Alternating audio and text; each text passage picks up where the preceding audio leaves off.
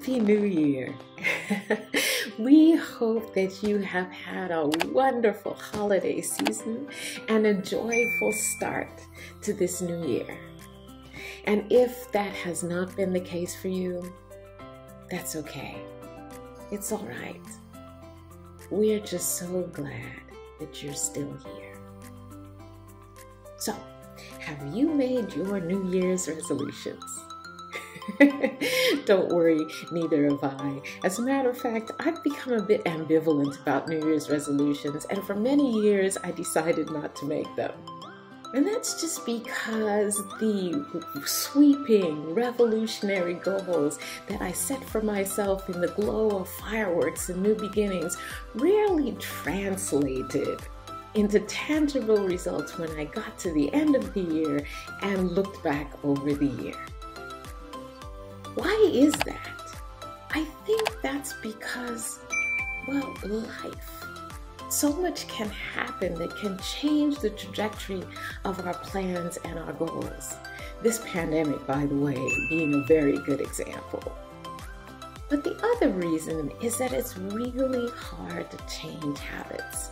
It's hard to lose 10 pounds and to start a new exercise program.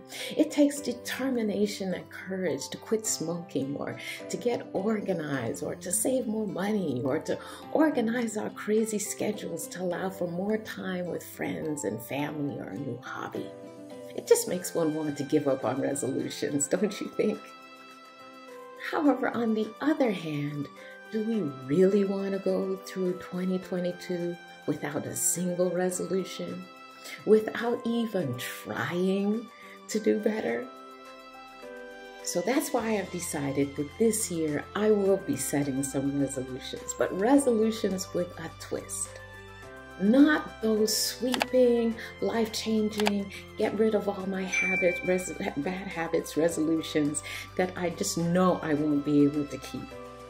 No, I'm not doing that this year.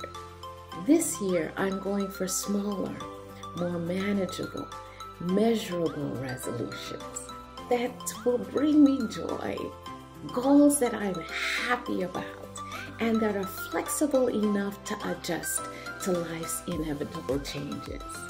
I plan to give myself grace and to really enjoy this year.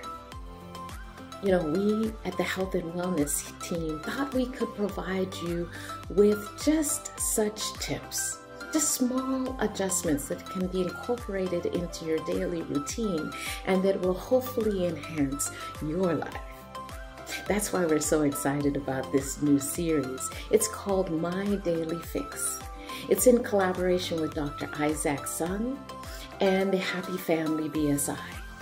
This new series will provide tips such as morning exercises and breathing, the best way to use text and use your phone, you know, exercises for those weary wrists using so much of the keyboard, and so much more.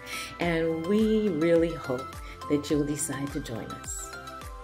My name is Dr. Esther Martinborough, wishing you health and wellness for this new year.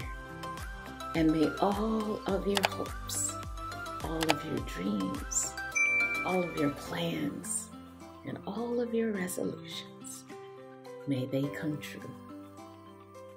Be well.